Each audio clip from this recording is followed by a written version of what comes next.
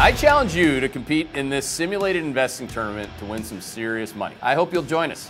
I'll be coaching you every step of the way.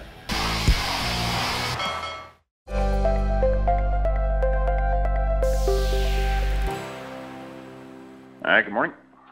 TJ on. Good call on Wynn yesterday. Yeah, yeah, we did. Uh, and, and I have a, um, uh, it's an observation from, from on sports betting, but I, I think there's uh, an analogy for here for Wynn as well. Um, so this little company, Genius Sports, yesterday was down 25%. The ticker is GENI. Uh, they reported earnings. Uh, it, it's actually kind of a cool little company. They provide data technology to the, the sports betting industry, uh, not just here in the U.S., but across the world. Uh, but what happened yesterday is a couple things, and, and um, you know, the first was was you know, I'm not saying we, we made a call on, on Genius. We, we obviously didn't, but we were negative on coming in to this earnings season for sports betting, and you can see in, in DraftKings, which was also down five percent, was the, path to profitability.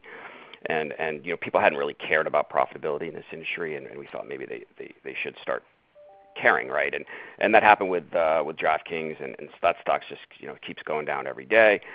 And and I think that was a big part of uh, the, Genius problem is the, revenues were okay, but their you know the profitability actually um, uh, took away their positive EBITDA guidance and, brought it down to you know basically not earning any money. Um, and, the takeaway, we, got asked this question uh, on a DraftKings or one of our calls recently, just about DraftKings, and you know keeps going down. You know when when do you you know what price do you take it off? The best idea short list, and you know, our view there is on DraftKings is you know, there's when you have your valuations based on you know multiples of revenues going out you know five years, what is the right multiple? Is it you know 10, 8, 5, 7, you know 3, and and so obviously you can get to a lot more downside uh, if you're just looking at price alone. But so we, we try to focus more on on catalysts because as you know, cheap stocks can get cheaper, expensive stocks get more expensive, right? And you know, I still think the catalysts, uh, while a lot of them have happened, still kind of line up you know negative. So uh, we, are going to stay stay negative on DraftKings um, despite you know how far it's dropped here. Um, but but the the analogy for Wynn here is you know.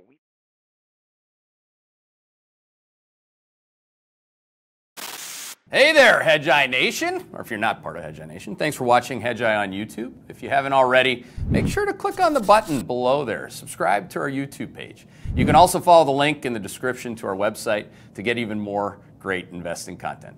Hedgeye's Cyber Monday sale is here. This is the best deal we offer anytime on our investment research. Since 2008, Hedgeye's 40 plus analyst team has helped investors big and small navigate volatile financial markets. Now, let Hedgeye help you. Our special Cyber Monday sale features steep discounts on all of our industry leading investment research. Explore our range of products that can suit your specific research needs. Don't miss Cyber Monday at Hedgeye.